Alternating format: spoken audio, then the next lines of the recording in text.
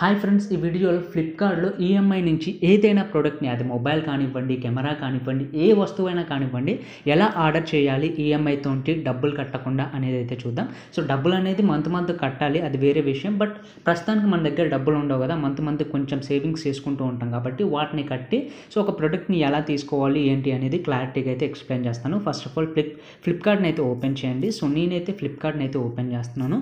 So బేసిక్గా మనకి Flipkart open చేయగానే ఇంటర్ఫేస్ అనేది విధంగా రావడం అయితే జరుగుతుంది. ఇప్పుడు మీకు ఏదైతే ప్రోడక్ట్ కావాలో అదైతే టైప్ చేయండి. సో నేనైతే వన్ ప్లస్ లెవెన్ ఆర్ మొబైల్ని ఆర్డర్ చేయాలనుకుంటున్నాను.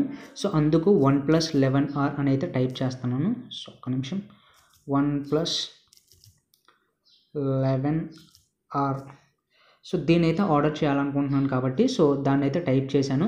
ఆ తర్వాతకి మనకి కిందిది అయితే నేను ఆర్డర్ చేయాలనుకుంటున్నాను. ఇది నాకు అవసరం లేదు. ఇది నాకు అవసరం ఉంది కాబట్టి సో నేను దీన్ని అయితే ఆర్డర్ చేయాలనుకుంటున్నాను. ఆ తర్వాతకి మనకి నెక్స్ట్ ఇంటర్ఫేస్ అనేది ఈ విధంగా ఉంటుంది. ఇక్కడ మీరు ముందే చూసుకోవాలి ఫ్రెండ్స్ ఏదైనా ప్రోడక్ట్ మీద క్లిక్ చేయగానే ఇక్కడ మనకి ఉంటుంది six months no cost EMI plan with HDFC card అని. సో ఇక్కడ ఉంటాయన్నమాట డీటెయిల్స్ అనేది. ఈఎంఐ అని ఉంటే మాత్రమే అది దానికి వర్తిస్తుంది అనమాట లేకుంటే వర్తించదు. సో మీరు ఒకసారి ఇక్కడ చెక్ చేసుకోండి. అసలు ఈఎంఐ ఉందా ఈ ప్రోడక్ట్కి లేదా అనేది. ఇప్పుడు మీరు కొంచెం తక్కువ ప్రోడక్ట్స్ ఉంటాయి కదా like four thousand three thousand వాటికి కొన్నిటికి ఈఎంఐ ఉండదు. కొన్నిటికి ఉంటుంది కొన్నిటికి ఉండదు తక్కువ కాస్ట్వి సో ఒకసారి చెక్ చేసుకోండి. మీరు ఏ ప్రోడక్ట్ని ఆర్డర్ పెట్టాలనుకున్నా కానీ సో దాంట్లో అయితే ఒకసారి చెక్ చేసుకోండి. ఈఎంఐ ఆప్షన్ ఉందా లేదా? సో నాకైతే ఈఎంఐ ఆప్షన్ అయితే ఉంది. ఆ తర్వాతకి బై నవ్ అని ఉంది కదా దాని మీద అయితే క్లిక్ చేస్తున్నాను. క్లిక్ చేయగానే ఇక్కడ అవసరం లేదు ఇదంతా స్కిప్ అండ్ కంటిన్యూ అనే ఆప్షన్ ఉంది కదా సో దాని మీద అయితే క్లిక్ చేయండి. ఫ్రెండ్స్ ఇక్కడ మనమైతే అడ్రస్ని అయితే చేంజ్ చేసుకోవచ్చు అనమాట సో అడ్రస్ని చేంజ్ చేసుకోవచ్చు అండ్ ఫోన్ నెంబర్ని చేంజ్ చేసుకోవచ్చు. సో ఒకవేళ ఈ అడ్రస్ కాకుండా వేరే అడ్రస్ అనుకోండి. సో అక్కడ చేంజ్ చేసుకొని ఫోన్ నెంబర్ని కనుక చేంజ్ చేసేసుకుంటే ఆ అడ్రస్కి వెళ్తుంది ఆ ఫోన్ నెంబర్కి అయితే కాల్ చేస్తారనమాట. సో మీరు అడ్రస్ చేంజ్ చేసుకోవాలనుకుంటే అక్కడి నుంచి అయితే చేంజ్ చేసుకోవచ్చు. అండ్ ఆ తర్వాతకి ఇక్కడ ప్రొడక్ట్ డీటెయిల్స్ అయితే క్లారిటీగా ఎక్స్ప్లెయిన్ చేస్తారు. ఇవైతే మీరు ఒకసారి క్లియర్గా అయితే చూడండి. ప్రొడక్ట్ కాస్ట్ ఎంత డిస్కౌంట్ ఎంత డెలివరీ ఛార్జెస్ ఎంత సెక్యూర్డ్ ప్యాకింగ్ ఫీ ఎంత సో ఇట్లా ఎవ్రీథింగ్ డీటెయిల్స్ అనేవి ఉంటాయన్నమాట. ఇవన్నీ డీటెయిల్స్ని అయితే మీరు చెక్ చేయండి. టోటల్ అమౌంట్ అయితే కింద అయితే పడుతుంది. Forty thousand forty eight rupees అయితే నాకు పడుతుంది. సో మీరు కూడా చూసుకోండి ఎంత పడుతుంది అనేది. అండ్ ఆ తర్వాతకి కంటిన్యూ అనే బటన్ మీద అయితే క్లిక్ చేయండి. క్లిక్ చేశాక మనకి పేమెంట్ సెక్షన్లోకి అయితే వెళ్తుంది అనమాట ఇక్కడ కొంచెం లోడ్ అవ్వడానికి అయితే టైం పడుతుంది ఫ్రెండ్స్ సో ఎక్కడ కూడా మీరు బ్యాక్ వెళ్ళకండి. బ్యాక్ వెళ్తే మళ్ళీ ఫస్ట్ నుంచి చేయాల్సి ఉంటుంది. పేమెంట్స్ దగ్గర ఎక్కడైనా కూడా లోడ్ అవుతుంది. ఎందుకంటే పేమెంట్స్ అనేవి వేరే యాప్ త్రూ చేయాలి కాబట్టి. సో ఇక్కడ ఏంటంటే మనం పేమెంట్స్ అనేది గిఫ్ట్ కార్డ్స్ త్రూ చేయొచ్చు గూగుల్ యూపీఐ నుంచి చేయొచ్చు ఫోన్పే నుంచి చేయొచ్చు చాలా ఉంటాయి అన్నమాట wallet credit card debit card ATM net banking చాలా ఉంటాయి. మనం చేయాల్సింది ఏంది ఈఎంఐ. ఈఎంఐ అని ఉంది కదా దాని మీద అయితే క్లిక్ చేయండి. క్లిక్ చేశాక ఇక్కడ కంటిన్యూ అనే బటన్ ఉంది కదా సో ఆ కంటిన్యూ అనే బటన్ మీద అయితే క్లిక్ చేయండి. క్లిక్ చేయగానే ఇప్పుడు ఈఎంఐ బ్యాంక్ని అయితే సెలెక్ట్ చేసుకోమంటుంది ఫ్రెండ్స్ సో మీరు ఏది అంటే క్రెడిట్ కార్డ్ ఉంటుంది కదా ఇప్పుడు మీకు ఏదైనా ఒక క్రెడిట్ కార్డ్ అయితే పక్కా ఉండాలి ఈఎంఐ నుంచి వెళ్ళి ఆర్డర్ చేయాలనుకుంటే. సో మీ క్రెడిట్ కార్డ్ ఏ బ్యాంక్కి సంబంధించింది అనేది అయితే ఇక్కడ సెలెక్ట్ చేసుకోవాలి. సో నాదైతే ఎస్బీఐ కాబట్టి నేనైతే ఎస్బీఐని అయితే సెలెక్ట్ చేసుకున్నాను. అండ్ ఆ తర్వాత ఇక్కడ మీకు మంత్స్ అనేది ఉంటుంది ఫ్రెండ్స్ త్రీ మంత్స్ని కనుక నేను సెలెక్ట్ చేసుకుంటే thirteen thousand three hundred and fifty rupees అయితే పడుతుంది. సిక్స్ మంత్స్ని కనుక సెలెక్ట్ చేసుకుంటే six thousand six hundred and seventy five rupees అయితే పడుతుంది.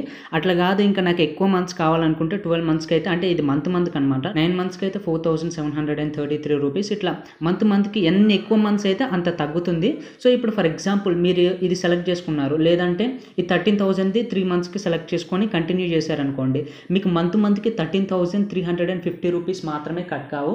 దాని మీద ట్యాక్స్ అయితే వసూలు చేస్తారనమాట ఎందుకంటే ఇప్పుడు క్రెడిట్ కార్డ్ నుంచి వెళ్ళి మీరు ఆర్డర్ చేస్తున్నారు కదా సో ఖచ్చితంగా దాని త్రూ కొంచెం ఇంట్రెస్ట్ అయితే వసూలు చేస్తారు. ట్యాక్స్ కాదు ఇంట్రెస్ట్ అయితే వసూలు చేస్తారు.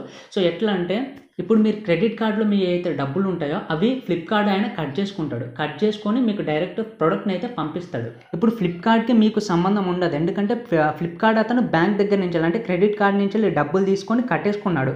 అండ్ మీకు ప్రోడక్ట్ అయితే పంపాడు. ఇప్పుడు ఎవరెవరికి సంబంధం ఉంటుంది? నీకు క్రెడిట్ కార్డ్ వాడికి సంబంధం ఉంటుంది. సో క్రెడిట్ కార్డ్ వాడు ఫ్లిప్కార్ట్ ఆయనకు డబ్బులు ఇచ్చాడు కదా. సో ఊరికే ఒక నలభై యాభై వేలు ఇవ్వరు కదా. సో దాని మీద కొంచెం ట్యాక్స్ అంటే కొంచెం ఇంట్రెస్ట్ అయితే వసూలు చేసుకుంటారు. ట్యాక్స్ అనకూడదు దీన్ని. ఇంట్రెస్ట్ అంటే సో ఇప్పుడు మనం ఎవరికైనా ఒక నలభై వేలు ఇచ్చినప్పుడు ఆ నలభై వేలు సంవత్సరం తర్వాతకి ఏమంటే నలభై వేలే ఇస్తే ఊరుకుంటామా? సో కొంచెం ఎంతో కొంత ఇంట్రెస్ట్ అయితే వసూలు చేసుకుంటాం కదా. సో ఇక్కడ కూడా అంతే. వీళ్ళైతే ఫిఫ్టీన్ పర్సెంట్ ఇంట్రెస్ట్ అయితే వసూలు చేస్తారు ఎస్బీఐ వాళ్ళు. సో ఫర్ ఎగ్జాంపుల్ ఒక వెయ్యి రూపాయలు అనుకోండి నేను మంత్లీ కట్టేది. దానికి ఒక నూట యాభై రూపాయలు అయితే యాడ్ అవుతుంది అనమాట మీరు ఎన్ని వేలు కడితే అన్ని నూట యాభై రూపాయలు యాడ్ అవ్వకుంటూ వెళ్తుంది. బట్ మీకు అది పెద్దగా అయితే అనిపించదు. సో కొంచెం చిన్న అమౌంట్ లాగానే అనిపిస్తుంది. బట్ స్టిల్ మీకు వాళ్ళు పే చేస్తున్నారు కాబట్టి మీరు ఇంట్రెస్ట్ అయితే కట్టాల్సిందే. సో అట్లయితే కట్ అవుతూ ఉంటాయి అనమాట ఖచ్చితంగా దానికి ఇంట్రెస్ట్ అనేది యాడ్ అవుతూ ఉంటుంది. సో మీకు బ్యాంక్ బ్యాంక్ వ్యారీ ఉంటుంది అనమాట సో ఎస్బీఐకి ఫిఫ్టీన్ పర్సెంట్ ఉంది. వేరే bank maybe sixteen seventeen percent కూడా ఉండొచ్చు. సో అది బ్యాంక్ బ్యాంక్ డిఫరెన్సియేషన్ అయితే ఉంటుంది. దాన్ని అయితే మీరు చూసుకోవాలి. సో నేనైతే ఎస్బీఐని సెలెక్ట్ చేసుకొని త్రీ మంత్స్కి అయితే సెలెక్ట్ చేసుకున్నాను. అండ్ ఆ తర్వాతకి కంటిన్యూ బటన్ మీద అయితే క్లిక్ చేస్తున్నాను. క్లిక్ చేశాక ఇక్కడ మీరు కార్డ్ డీటెయిల్స్ అనేవి ఇవ్వాల్సి ఉంటుంది అనమాట ఇక్కడ card number month year CVV అయితే ఇవ్వాలి. అండ్ ఆ తర్వాతకి కంటిన్యూ బటన్ మీద అయితే క్లిక్ చేయాలి. సో నాకు కార్డ్ అయితే లేదు. ఒకవేళ మీకు కార్డు ఉంటే సో ఆ కార్డ్ డీటెయిల్స్ అయితే ఇచ్చేసేయండి. ఇచ్చేసాక మీ బ్యాంక్ అకౌంట్ ఐ మీన్ మీ క్రెడిట్ కార్డులో మనీ ఉంటుంది కదా ఆ మనీ అనేది కట్ అయిపోతుంది. కట్ అయిపోయి ఫ్లిప్కార్ట్ వాళ్ళకైతే వెళ్ళిపోతుంది. ఫ్లిప్కార్ట్ వాళ్ళు ప్రోడక్ట్ మీ ఇంటికి అయితే పంపుతారు. సో ఇప్పుడు ఏంటంటే బ్యాంకు మీ మీ నుంచి మంత్ మంత్ వసూలు చేసుకుంటుంది ఎందుకంటే బ్యాంకే కదా ఫ్లిప్కార్ట్ వాళ్ళకి ఇచ్చింది.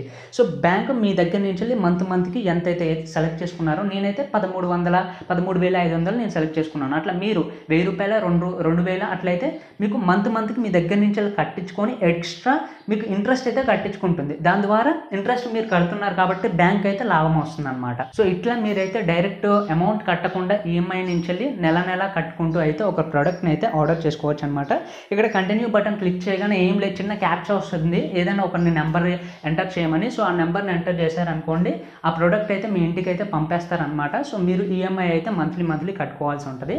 సో ఈ వీడియో అయితే ఇంత ఫ్రెండ్స్ ఈ వీడియో కనుక మీకు నచ్చినట్లయితే లైక్ చేయండి షేర్ చేయండి. ఇలాంటి మరెన్నో వీడియోస్ కోసం మన ఛానల్ని సబ్స్క్రైబ్ చేయండి. థ్యాంక్ యూ అండ్ జై హింద్